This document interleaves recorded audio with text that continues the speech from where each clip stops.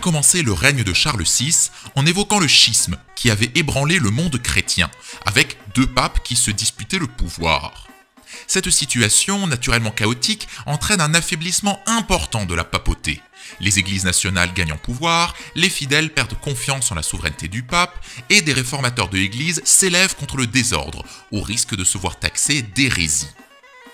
En 1409, des cardinaux réussissent à mettre tout le monde autour de la table à Pise pour un concile. Il y est proclamé la destitution des deux papes et l'élection au titre pontifical d'Alexandre V.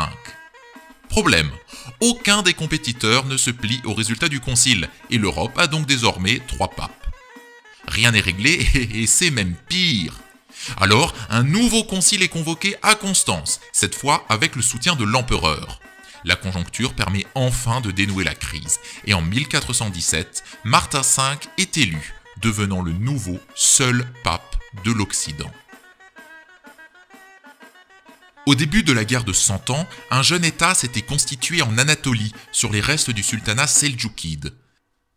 Ce qui va devenir l'Empire ottoman s'étend au Moyen-Orient et conquiert les terres de l'Empire byzantin jusqu'en Grèce et dans les Balkans. Constantinople est encerclée, les empereurs se succèdent, impuissants et sans le sou, dans la ville millénaire. Les sultans ottomans lorgnent sur la ville et rassemblent des troupes en vue de s'en emparer. Les jours de l'Empire byzantin sont comptés.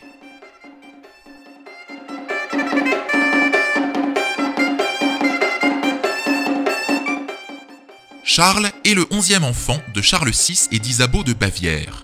La mort de ses frères Louis, puis Jean, fait de lui le dauphin de France, alors que le royaume est déchiré par la guerre civile et que son père n'est plus en état de gouverner depuis longtemps. Devenu chef naturel du parti armagnac opposé à Jean sans peur, il fuit la capitale lorsque les Bourguignons entrent à Paris en 1418.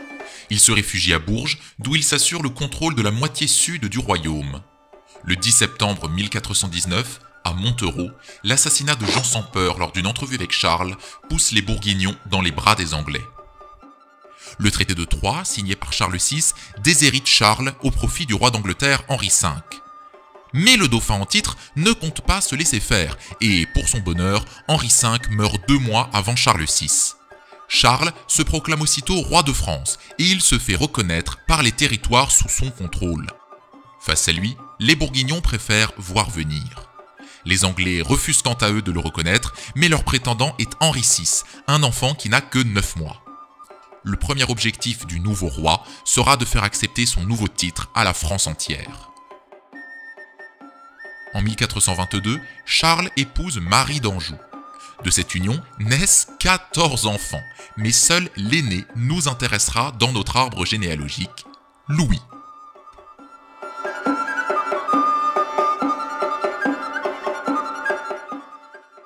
Charles VII est roi de 1422 à 1461. La postérité, certainement aidée d'une bonne dose de propagande, célèbre Charles comme le victorieux pour avoir repris aux Anglais presque tous les territoires qu'il détenait en France et avoir mis un terme à la guerre de Cent Ans. Car oui, le plus important à retenir, c'est que Charles VII, c'est le roi de Jeanne d'Arc et de la fin de ce conflit. Cette fin coïncide aussi avec l'entrée de la France dans l'ère des États modernes, et Charles VII l'y aide considérablement. Mise au pas des nobles, création d'un impôt permanent, refonte de l'armée et arrivée de l'artillerie. Tous ces éléments concourent à la fin de l'ère féodale qui s'éteint progressivement en Europe. Outre ces grandes considérations, on retiendra deux faits plus personnels sur le roi. D'abord, sa maîtresse, Agnès Sorel, la dame de beauté, dont le nom et la mort ont marqué l'histoire de France. Ensuite, la relation qu'il entretient avec son fils Louis, futur Louis XI. Une relation conflictuelle entre un père bien décidé à rester sur le trône jusqu'à sa mort et un fils ambitieux qui espère bien y arriver au plus vite.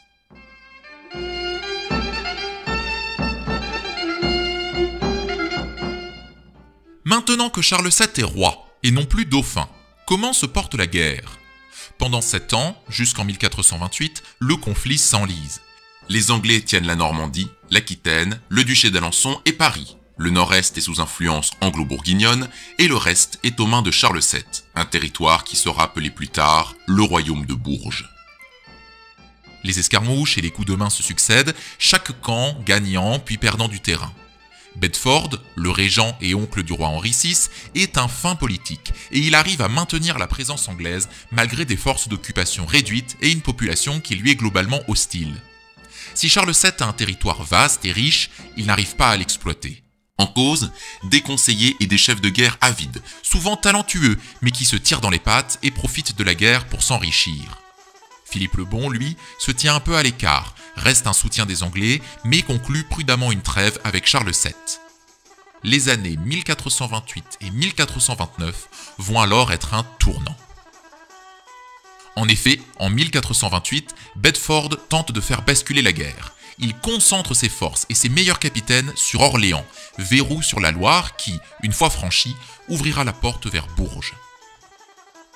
La garnison, menée par Jean d'Orléans, un fils illégitime de Louis d'Orléans, tient bon face aux Anglais qui installent un blocus de la ville et réussissent à s'emparer à grands frais des tourelles qui défendent le sud de la cité. Tous les capitaines de Charles VII sont alors mobilisés pour harceler les Anglais et ravitailler la ville, mais le siège s'éternise. Le 23 février 1429, à Chinon, où se trouve Charles VII, un capitaine français amène au roi une femme qui se dit inspirée par des saints. Cette femme du pays de Bar, qui s'habille en homme et qui a un aplomb formidable, c'est Jeanne d'Arc. La légende et la propagande royale ont beaucoup déformé l'épopée de Jeanne, mais une chose est sûre, le roi ne fait pas confiance à cette femme, et son attitude le choque, mais le pragmatisme domine. Au point où on en est, il n'y a rien à perdre à l'envoyer à Orléans. Le 29 avril, Jeanne entre triomphalement dans la ville et galvanise les défenseurs. Début mai, Jeanne à leur tête, les Français prennent les forts de Saint-Loup et des Augustins et s'emparent des tourelles. Les Anglais, pris de court, lèvent le siège. La victoire d'Orléans a un retentissement énorme en France et dans toute l'Europe. Le revirement de situation semble tenir du miracle, et on ne parle que de la jeune fille qui a permis la délivrance de la ville. Et les miracles, en réalité des opérations militaires bien menées, aidées par l'effet psychologique de la présence de Jeanne, vont s'enchaîner. Dès la levée du siège d'Orléans, les meilleurs capitaines français font campagne sur la Loire et prennent plusieurs ponts aux Anglais. Le 18 juin, la bataille de Patay amène la consécration. Cet affrontement méconnu peut être vu comme l'Azincourt français. Moins de 2000 Français attaquent 5000 Anglais venus de Paris à l'annonce de la défaite d'Orléans. Connaissant la position de l'ennemi, les 180 chevaliers français ne laissent pas le temps aux archers anglais de se mettre en formation et chargent. Les Anglais se débandent et la cavalerie française est rejointe par les hommes d'armes. Les Français comptent une poignée de morts, les Anglais 2500, dont un grand nombre d'archers d'élite. Avec cette victoire retentissante, le champ est libre pour l'armée royale. Faut-il conquérir la Normandie ou aller sacrer Charles à Reims? C'est cette dernière option, vivement défendue par Jeanne, qui est choisie. Sur le trajet, les villes bourguignonnes ne savent pas sur quel pied danser, mais finissent par laisser passer l'armée. Charles entre à Reims en juillet 1429 et il est sacré le 17 en présence de Jeanne d'Arc. Charles VII y gagne la légitimité divine associée au sacre et la légende de Jeanne s'écrit en lettres d'or l'Europe est subjuguée par cette expédition menée avec succès en plein cœur du territoire ennemi. Mais les victoires de Jeanne s'arrêtent ici. Charles et ses conseillers commencent à se fatiguer de son exaltation et la laissent tenter de reprendre Paris. Elle échoue et se fait capturer en 1430 lorsqu'elle tente de porter secours à Compiègne, assiégée par les Bourguignons. Les Anglais la rachètent à prix d'or, lui intentent un procès à Rouen et la condamnent au bûcher en 1431. Cette fin tragique finit de hisser l'histoire de Jeanne d'Arc au rang de légende absolue dans l'imaginaire français. De 1432 à 1435, les choses se précisent. Bedford est épuisé. L'argent manque partout, la Normandie est en pleine révolte et les brigandages et les escarmouches autour de Paris s'accumulent. Pendant ce temps, Philippe le Bon étend son territoire. Jouant de diplomatie, il récupère le duché de Brabant, les comtés de Hainaut, de Hollande et le duché de Luxembourg. Sa puissance devient conséquente, mais il doit désormais compter sur un empereur qui le voit d'un mauvais œil. Le mieux loti reste peut-être Charles VII. Il obtient enfin l'appui de la Bretagne et réussit à se débarrasser de ses conseillers les plus corrompus. Il commence alors à prendre sérieusement la main sur son royaume et obtient enfin des rentrées d'argent plus sûres. La guerre dure depuis trop longtemps. Tous les participants sont là et l'Europe entière veut voir les deux plus puissants royaumes d'Occident faire la paix. rendez-vous est pris à Arras en 1435 pour une conférence internationale chargée de résoudre divers problèmes entre les royaumes chrétiens et au premier chef, la guerre franco-anglaise. Début août, le congrès s'ouvre et chacun constate que Français et Anglais ne sont pas du tout sur la même longueur d'onde. Les envoyés d'Angleterre réclament la couronne de France en proposant à Charles de garder ses possessions et de rendre hommage à Henri VI. Ils se font des illusions sur leur capacité militaire et repoussent l'offre des Français, la couronne à Charles contre la Guyenne, la Normandie et l'Alençon pour Henri VI. Les Anglais jugent l'offre inacceptable et claquent la porte des négociations après un mois. Le champ est alors libre pour traiter entre Charles VII et Philippe le Bon. Le roi de France fait de grosses concessions au duc de Bourgogne. Il fait amende honorable pour le meurtre de Jean sans peur, s'engage à financer des églises et des messes et cède des villes et quelques terres à Philippe le Bon. En échange, il obtient la seule chose qui compte, le ralliement du duc et la reconnaissance de Charles VII comme le véritable roi de France. Le 21 septembre 1435, le traité d'Arras est signé. Bedford est mort pendant le congrès, les Anglais vivent sur le souvenir de leur grande victoire, Charles a les mains libres. La présence anglaise en France est comptée. L'heure de la victoire n'a cependant pas encore sonné, et la guerre s'éternise encore un peu plus malgré la prise de Paris en 1436. Le traité d'Arras, en démobilisant beaucoup d'hommes, a créé une situation pareille à Bretigny, comme les grandes compagnies en leur temps, les soldats démobilisés, appelés écorcheurs, vont se jeter sur une France décrite comme désolée, ravagée et désertée. Charles VII commence alors à réfléchir à une réforme de l'armée qui effraie les nobles. Les ducs de Bourbon, d'Alençon et le comte d'Armagnac se mettent à comploter avec le dauphin Louis pour le mettre sur le trône et éviter la modernisation de l'armée. Cette fronde nobiliaire est appelée la praguerie. En 1440, le soulèvement est déclenché, mais il ne reçoit pas le soutien escompté et Charles VII réagit énergiquement. Il ramène son fils à l'obéissance, appelle les villes à son soutien et réunit en hâte une armée. Les instigateurs du complot se soumettent. La conclusion du mouvement est éloquente. Désormais, les nobles ne sont plus en mesure de s'opposer au roi et de dicter leur volonté tant que les grands vassaux, en l'occurrence les ducs de Bourgogne et de Bretagne, ne se joignent pas au mouvement. Jusqu'en 1444, Charles VII va alors s'occuper de nettoyer le royaume et de resserrer les taux autour des territoires anglais. Ceux-ci, comprenant qu'il n'aurait pas dû rompre les négociations à Arras, envoie au roi un émissaire en la personne du duc d'Orléans, prisonnier depuis Azincourt, afin d'obtenir la paix. Charles VII lui préfère une trêve de 5 ans, pendant laquelle il va rassembler ses forces. Pendant ces 5 ans, Charles VII ne va pas chômer.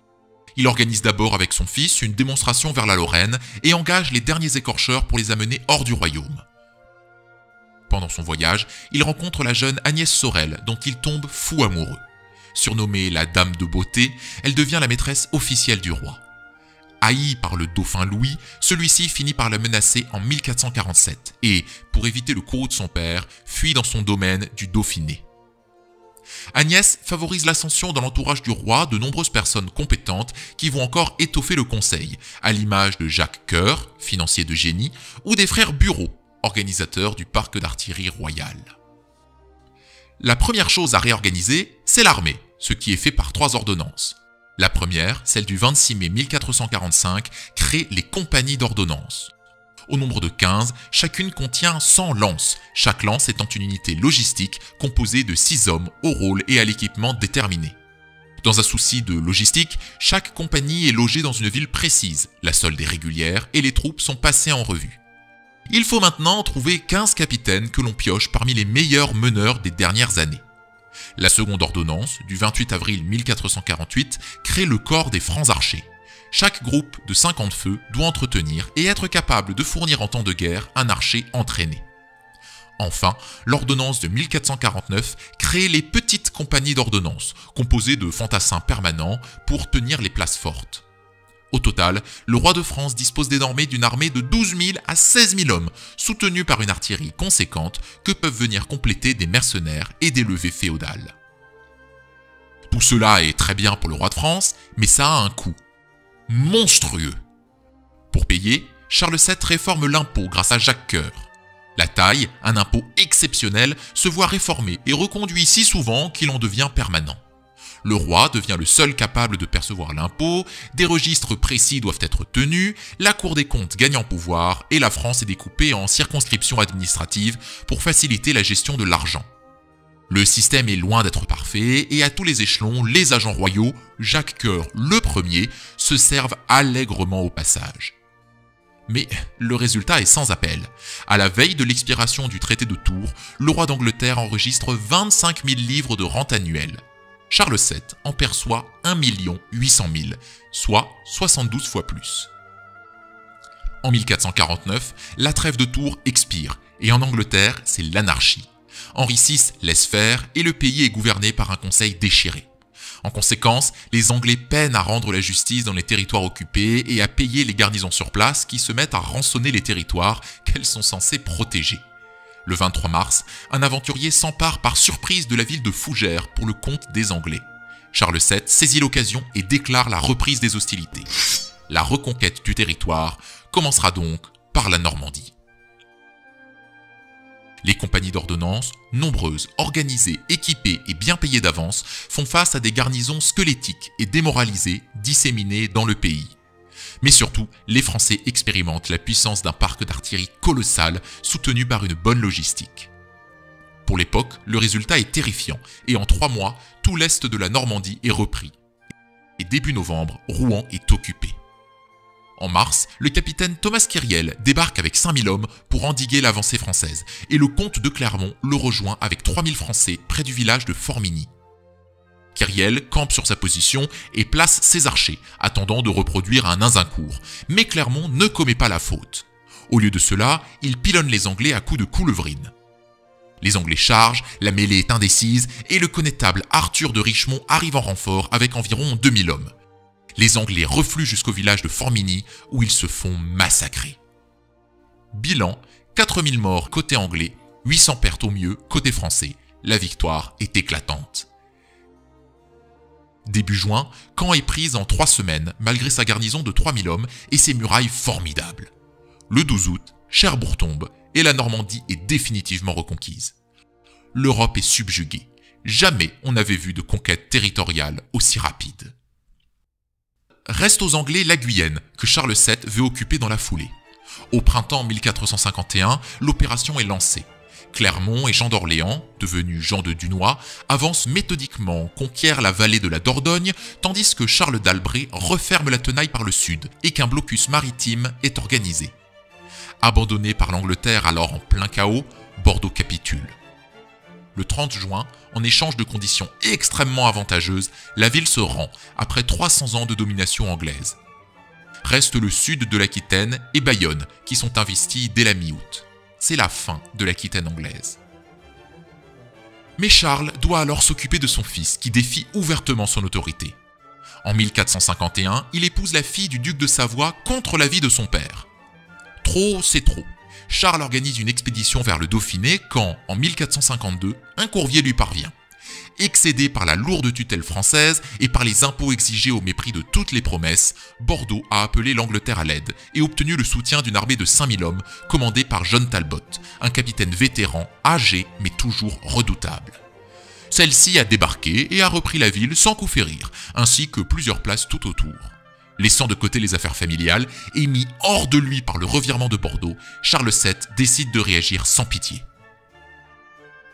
Au cours de la campagne, 6500 Français mettent le siège devant la ville de Castillon et installent un camp retranché pour leur artillerie, pendant que Talbot rallie la ville à marche forcée avec 8000 hommes et s'installe dans une abbaye non loin. Sans attendre l'arrivée de toutes ses troupes, contre toute attente, il décide de donner l'assaut sur le camp français les canons massacrent les Anglais qui finissent par arriver au contact. La cavalerie bretonne arrive sur le flanc des Anglais qui fuient et qui sont massacrés, beaucoup se noyant dans la Dordogne. Nouvelle défaite cinglante, l'Angleterre perd environ 4000 hommes, dont Talbot, les Français, une centaine de combattants. Fin juillet, le roi lui-même met le siège devant Bordeaux avec toutes ses forces.